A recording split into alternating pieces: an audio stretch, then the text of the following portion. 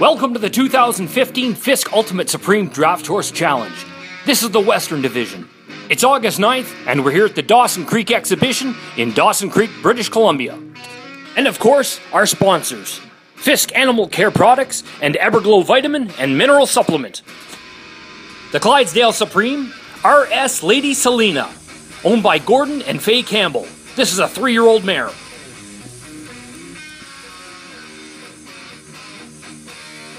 The Percheron Supreme was Polar View Evet, owned by Shane and Colleen Patterson.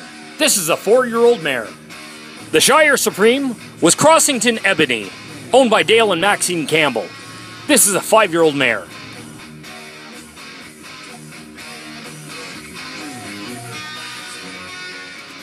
The Belgian Supreme was Prinsview Dock, owned by Bill and Deanie Prins. The judges' results are in on this group of draft horse supremes. And our winner and ultimate supreme today is Prinsview Dock. This is a three year old gelding. Congratulations to Bill and Deanie Prins and family. A special thanks to our host, the Dawson Creek Exhibition, to Janine Auckland and the Draft Horse Committee.